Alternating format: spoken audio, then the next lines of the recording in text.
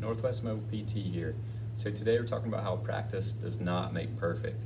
So if you are a athlete getting over an injury, if you're trying to progress your sport, progress your activity level, or just trying to get to a, another fitness level, this video is for you.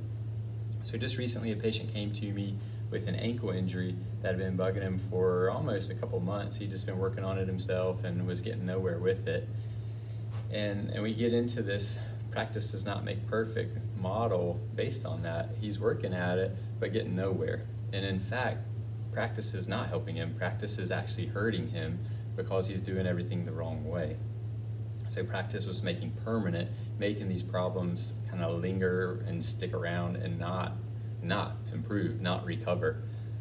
Similarly, I was involved with a Facebook post or saw a Facebook post recently where someone asked about plantar fasciitis and probably got over 60 responses of, of different things to do. Roll on a, a frozen bottle, go to the chiropractor, go to the massage therapist, go to PT. PT helped me, chiropractor didn't help me, PT didn't help me, P PT did help me. Uh, get these shoes, get these these boots to sleep in.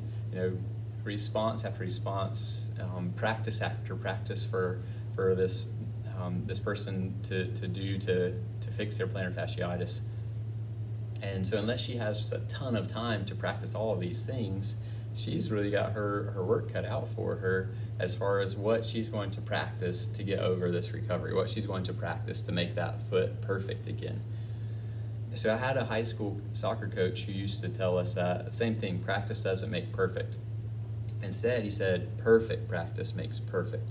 And so the idea with, with my, my patient with the ankle injury or with this person posting about plantar fasciitis is that you've got to be doing the right thing. If you're not doing the right thing, you're going to set your, yourself up for failure. You're going to set yourself up to not succeed, to not recover, to not get to that next level like you want to. And so if you find yourself having that problem where you're just not progressing, you're not getting out of that pain, not getting away from that pain, get in touch with us. There's a saying that's that's called the the rat doesn't always chew where he gets in, something along the lines of that. And so just because you're having pain in your foot doesn't, necessarily mean that that's where the pain's coming from.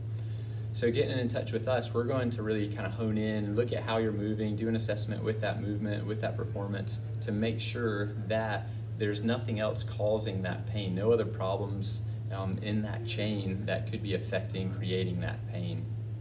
So if you are having problems with progressing to that next level, think about just slowing things down to make sure you have the right form, the right technique, and, and then from there build on that to, to put more load or more speed so that you can start to perform, perform at that higher level. Certainly, if we can help you, get in touch with us. We'd be happy to help you get back to doing what you enjoy.